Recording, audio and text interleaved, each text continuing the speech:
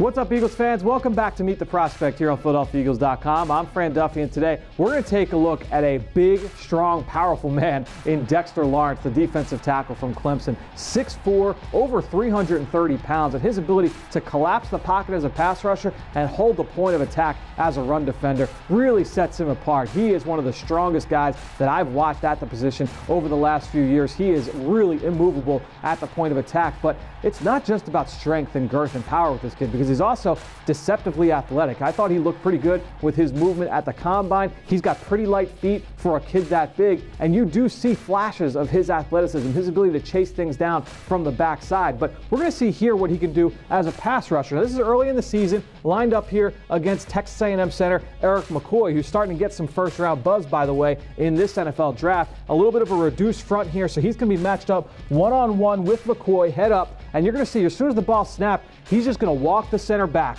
and you see that power, that ability to displace, and he forces an errant throw, forces an incompletion. So while the sack production may not always be high there with Dexter Lawrence, he can impact the quarterback because of his power and his ability to collapse the pocket. And that's really what's going to catch a lot of people's eyes with that kid. Now, ultimately, had a foot injury last year as a sophomore, was suspended for a couple of games here in the back end of the 2018 season. So some things to work out there. But ultimately, when you look at Dexter Lawrence, a really intriguing player because of his combination of size and movement and obviously his strength and power. Really, really intriguing player. And for more on players just like Dexter Lawrence, stay tuned for more right here on Meet the Prospect on PhiladelphiaEagles.com.